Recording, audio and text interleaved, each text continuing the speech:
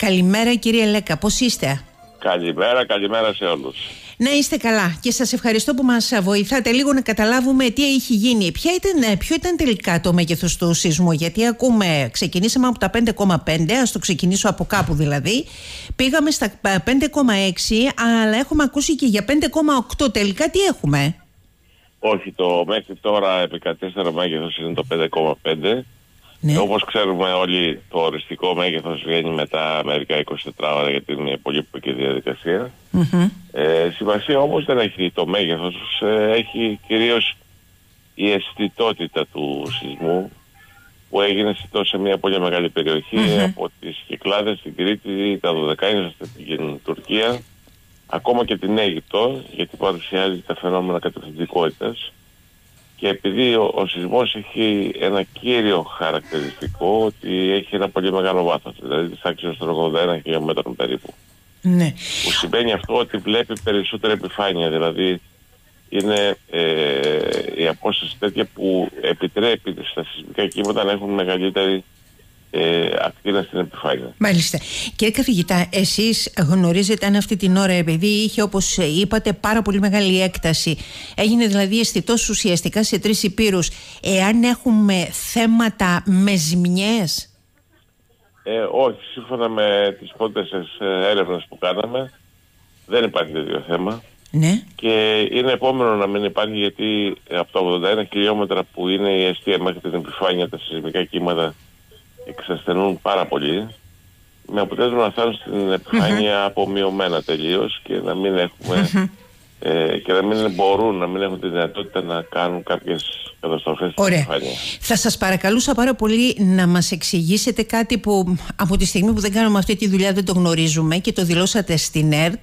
Είπατε ότι ο σεισμός αυτός εντάσσεται στην οπισθοχώρα του ελληνικού τόξου. Τι ακριβώς σημαίνει αυτό; Ο ελληνικό χώρος έχει ε, διαιρεθεί σε κάποιες σεισμοτεκτονικές ζώνες, δηλαδή είναι το προωθημένο ελληνικό τόξο, δηλαδή το, το, ε, το, η Κρήτη, δηλαδή νότια της Κρήτης, η Ρόδος νότια, ε, η Ζάκυνθος, είναι στο τόξο ε, της Ελλάδας. Mm-hmm. συνέχεια είναι στο σεισμικό τόξο, ή τεκτονικό τόξο, υγειοδυναμικό τόξο.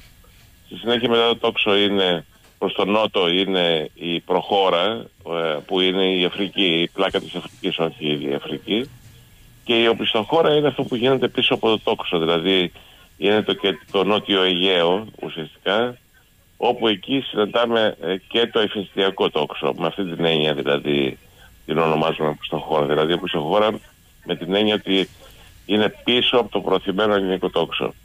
Ε, είναι ονοματολογίες αυτές που ε, εντάξει χρησιμοποιούνται κυρίως επιστημονικά αλλά αποδίδουν και την έννοια το ότι του τι σεισμούς θα έχουμε.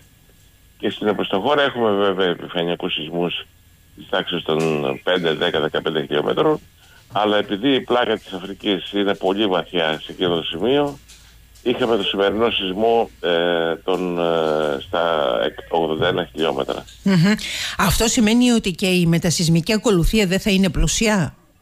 Ε, ναι, δεν θα, έχει, δεν, θα, δεν θα έχει πλούσια μετασυσμική ακολουθία. Η μετασυσμική ακολουθία είναι μικρής σε αυτές τις περιπτώσεις ε, και, ε, δεν, και δεν προμηνύεται ε, κάποιος μεγαλύτερος σεισμός.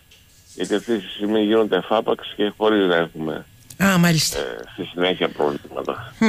Αυτό είναι το βασικό, γιατί θα σας ρωτούσα ούτως ή άλλως, αλλά με προλάβατε.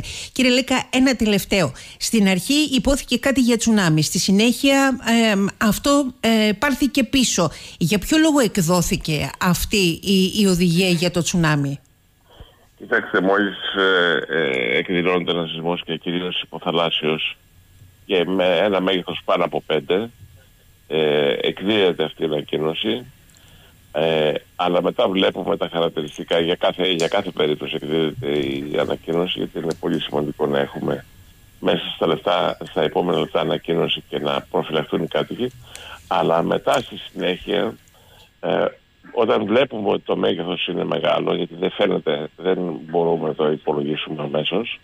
Ε, όταν βλέπουμε ότι το μέγεθος είναι μεγάλο και το ρήγμα δεν φτάνει στο πυθμένα, δεν μπορεί να φτάσει στο πυθμένα τότε ακυρώνουν την ειδοποίηση. Είναι ε, πολύ απλό.